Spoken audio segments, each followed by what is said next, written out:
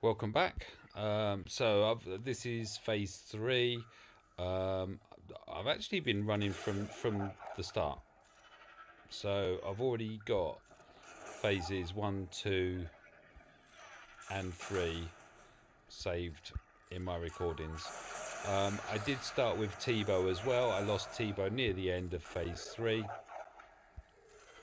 Now it's just just to see how long they can last. Probably not that long, to be honest, because this is it's enraged. But it'll be interesting.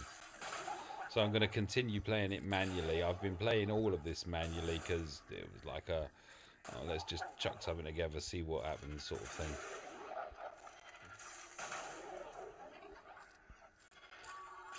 So basically, Jyn goes she then, on her AoE, passes it to Nihilus, who does that.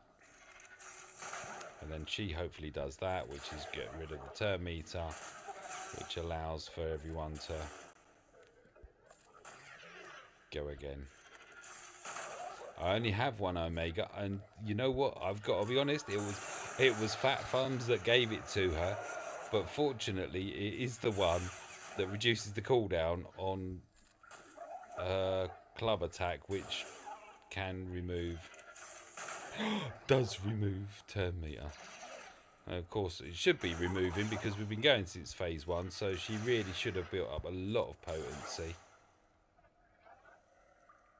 That was weird. But there we go, this is the end now.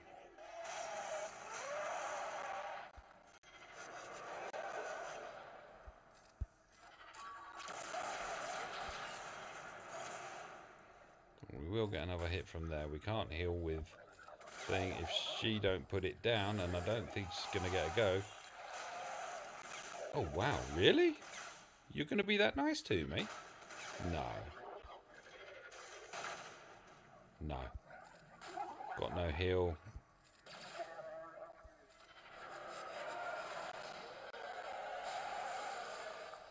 Oh, we do.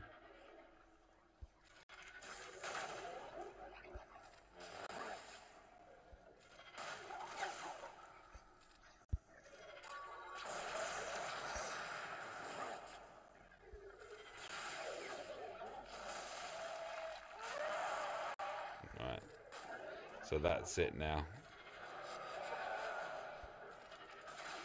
Nothing to remove the turn meter anymore. The Rancor is going to have at it as soon as